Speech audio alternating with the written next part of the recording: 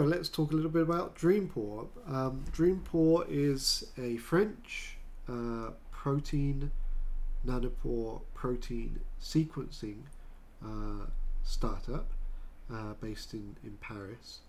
Um, I last looked at them in 2021, uh, so this might be another company where we could go back and figure out what's happened or if the company still exists.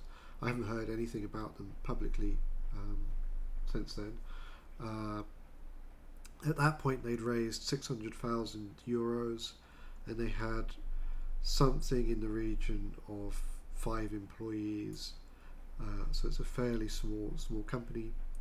Um, and at that point, I couldn't really find a patent uh, publicly uh, available. Um, but what there was was there was a, a Nature paper um, on on protein sequencing, um,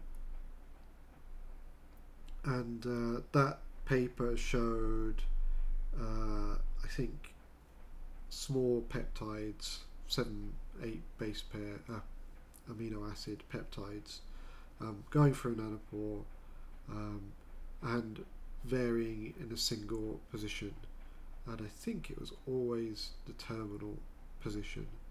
Um, that they were using alpha hemolysin, which was the nanopore that was uh, used by Hagan Bayley's lab um, in the, the approach that was the, there was a publication that showed with a cyclodextrin inside the pore uh, you could see single base um, single bases would DNA bases would give off a, a different signal. So it's a well-known pore. Um, and they show that with a um, uh, this polyarginine region on the peptide, they can get it to stick to the pore for long enough that they can de detect single base changes, um, uh, single amino acid changes, and they do show single amino acid changes.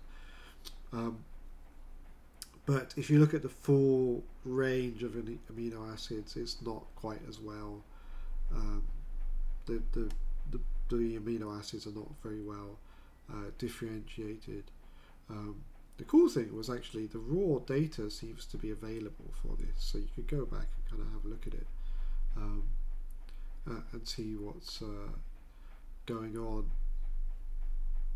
The blockages seem to vary um, by about 10 picoamps, um, which is typical for, for a protein nanopore, but in the case of amino acids, you're trying to cram like 20 different kinds of amino acids into these this very small peak, 10 picoamp region. It's not like DNA sequencing where you've only got four, um, and it's not kind of clear what will happen. You know, when you're looking at adjacent amino acids, do you look at two or three um, uh, positions? And as I mentioned in the the blog post conservatively I'd say you'd be getting signal from three positions so that's like 8,000 possible combinations um, which would give you 0.001 picoamp um, between each um, amino acid if they're all evenly distributed and you've got like a picoamp of noise on this signal as well so it, it it feels like a really hard problem. Um, on top of that, they haven't really discussed how you would um, slow down the translocation of the proteins sufficiently. You've got this sticking, but that's um, that's not great, and they don't really discuss how you deal with contributions from adjacent bases. Um, there has been at work from other groups which has kind of showed that maybe you can show uh, slow down the translocation, uh, but they don't have that IP. So you need to see, um, they, they, need to describe some method of, of slowing down uh, the translocation of the proteins and dealing with different charge distributions on proteins or changing the charge distribution. Um, all sorts of problems um, that you kind of want to find solutions to, but it's still it's interesting um, early work. So that's it. If you want to hear a bit more about um, uh. Um, go read my Substack. Perhaps there'll be an update post shortly as well. I'll go and see what I can find now.